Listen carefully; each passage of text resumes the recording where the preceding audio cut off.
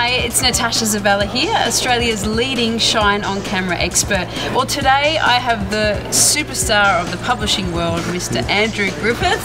Thank you for joining me here today. Lovely to be here, Natasha. Thank you. Thank you. Look, I just wanted to ask a quick question Sure. um, about your thoughts on video in business and, and the power of, of that and what it can do for you. Uh, to me, I, I think it's become an essential tool in, in the lineup of, of our marketing resources. Certainly, you know, video blogs, that, that, that connection, this, this personal feeling of being able to sit and look at a screen and share advice. If you look at statistics around search, uh, YouTube is the second most frequently used search engine today behind Google. And it's owned by Google, but it indicates that people aren't Googling and looking for info. They're going right to YouTube and saying whatever and getting a video. Video gets five more, five times more clicks than anything else on the internet. You know, it is the fastest growing medium by far. I think 90% now of all internet content is video content. If you're in the business of communicating, training, uh, upskilling, selling, um, video is a key component of that. One of the things that it really creates is that intimacy,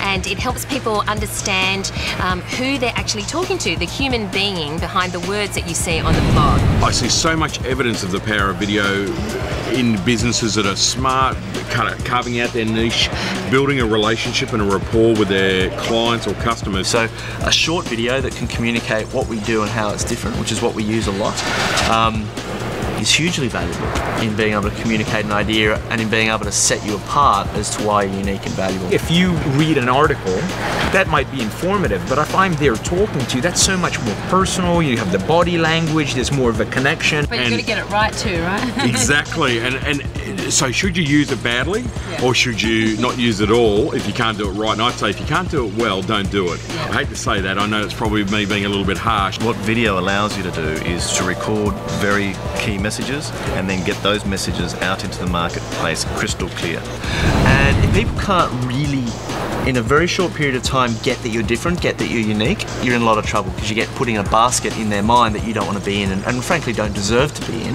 Videos convey so much more information in a shorter period of time. People are time poor. They want to get the information as quickly as possible and they want to connect with a person. and the creative way that people are using video i just put it all together and go i think if you're not using video you're kind of crazy If a picture's worth a thousand words, a video tells a whole story. Um, and it can do it in a very short period of time. And it creates massive leverage, and, and I think it's just absolutely key to business. Every business should have a video about what they do and have uh, customers talk about it, have some of the owners and management team because it builds that personal connection with the prospect looking And the trust as well, isn't it? Absolutely. Ab- You can't get that from text on a website or an article. Only video can convey that. now we've got an iphone i can video myself go yeah you can and uh, you probably shouldn't And it helps them, you know, get to know, like, and trust you perhaps a little quicker than if you don't use it. Fantastic. Thank you so much for your time, Mallory. Much appreciated. Well, I'm Natasha Zuvela, Australia's leading shine on camera expert. Remember, to be a success, you cannot be a secret.